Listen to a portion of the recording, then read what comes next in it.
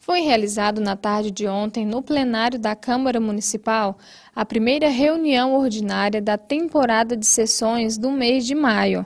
Na oportunidade, os vereadores de nossa cidade discutiram assuntos de interesse da sociedade. Nós discutimos aqui, foi bastante intensa, bem, bem, bem movimentada a sessão hoje, tanto com a participação dos vereadores, os requerimentos, os projetos que foram discutidos, buscando também, juntamente com a Prefeitura e o Poder Legislativo, a gente cobrou o envio de um, de um projeto de lei vindo do Executivo para que possa a gente poder solucionar esse problema e dar uma resposta para a sociedade. Porque diversos setores, como Portal do Sol, Jardim Floresta, Vila Sofia e outros mais, têm nos cobrado a questão dos matos altos dos terrenos é, que não estão ocupados.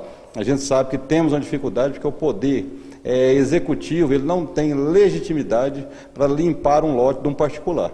E a gente tenta, eu fiz um estudo, fui procurado pelos, pelos, moradores do setor Portal do Sol, fiz uma reunião com eles, fiz um estudo para ver se nós, vereadores, tínhamos, teríamos iniciativa de fazer um projeto saindo do, do, da Câmara de Vereadores para o Poder Executivo, mas infelizmente esbarra na questão da iniciativa. Então nós não temos. Então a gente elaborou um projeto, encaminhou para o prefeito, solicitou que ele envie esse projeto vindo do Executivo para cá para que nós possamos aprovar.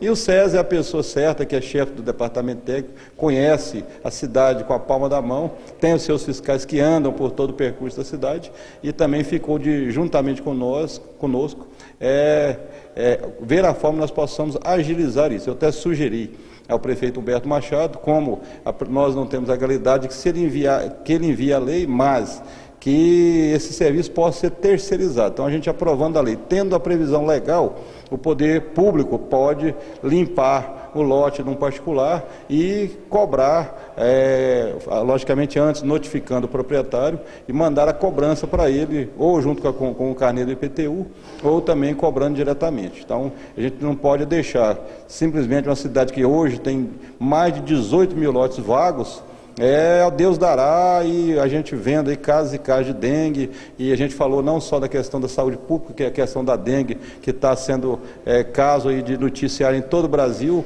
E o estado de Goiás é o segundo, é maior, o estado que está em segundo lugar com o maior índice de casos de dengue no, no, no, no Brasil. E já está aí também, está entre as cidades, por ser um município grande, com grandes áreas também vazias, e a gente pede isso, é que nós possamos ser eficientes nesse combate e convidando, que não adianta ser somente fazer é, palestras, convites é, e também é, é, programa de conscientização, porque o morador, ele tem também, o proprietário ele tem que ser ciente que ele precisa limpar o seu lote, porque é um, é um caso de saúde pública.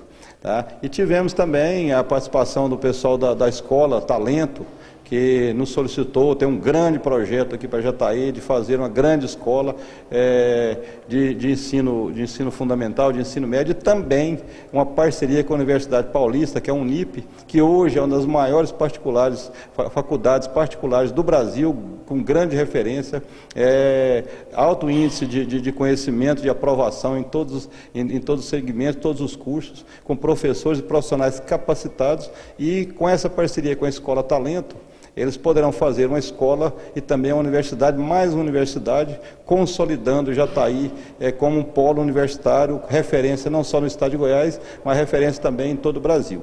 E eles nos solicitaram uma área que fosse doada, uma área do município, para que eles é, fizessem esse empreendimento. Eles estiveram aqui em outra ocasião, falaram do projeto e o prefeito Humberto Machado, de forma séria, de forma responsável, disse: se a Câmara de Vereadores concordar, eu envio o projeto doando a área para que vocês possam realizar o empreendimento de vocês.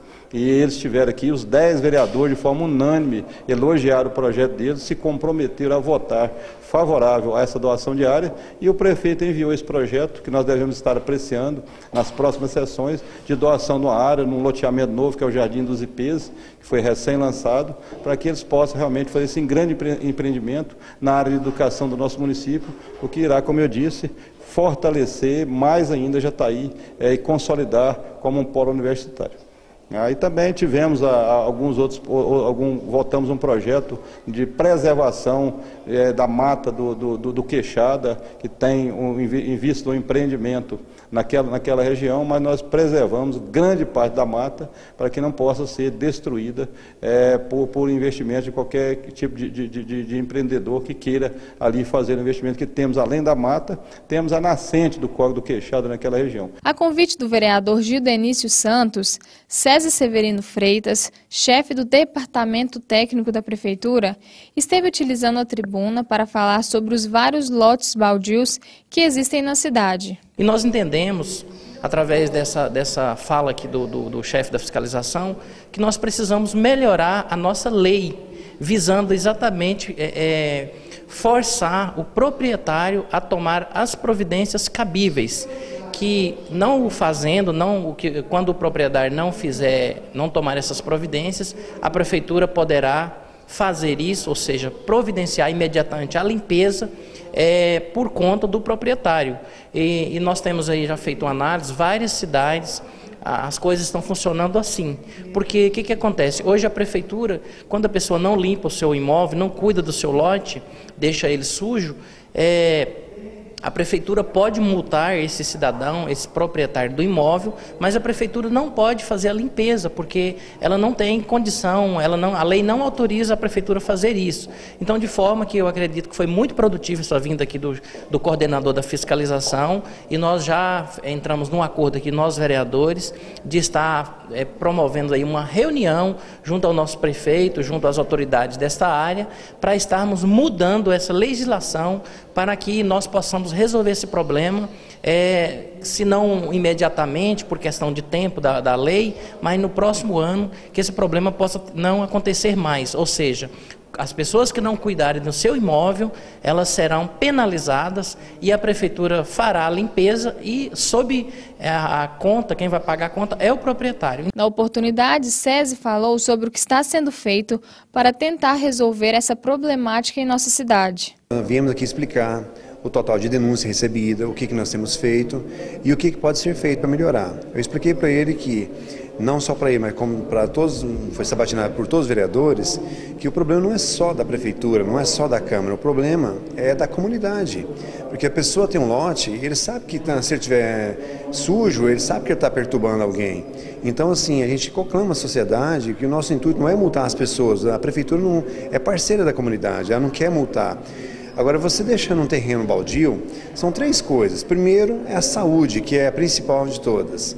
Segundo, é a segurança, que você está deixando um terreno sujo, é, larápios, bandido, ele vai, ele vai se esconder lá dentro, vai praticar crimes ou, ou colocar objetos de, de delitos dentro desse terreno desse terreno que está sujo. E terceiro, principalmente, é a estética também da nossa cidade. Então o Poder Público tem investido bastante, melhorando, é, recapeando, é, dando tudo de si.